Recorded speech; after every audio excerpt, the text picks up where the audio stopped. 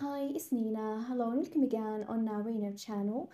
And in today's video, I'm gonna ask you the question whether can you make a closed group a public group? So let's get started.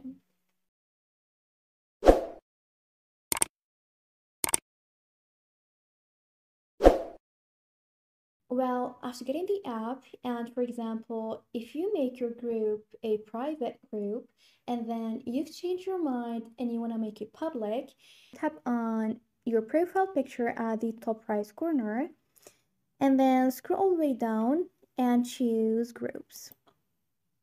Now tap on your groups and here is my group now tap on the star icon at the top right corner. After that, scroll all the way down and tap on group settings. Here we got privacy, so tap on it. And here it says only members can see who's in the group and what they post. So private groups can change to public to protect the privacy of group members. So importantly, once you set your group to be private, then you can't make it public again.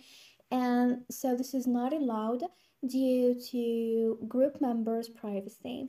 And the only thing you can do is to go back tap on hide group and change it from hidden to visible. So anyone can find this group. Now hit save. And this is the only thing that you can do to make your group visible to everyone. And this is it. Thanks for watching. See ya.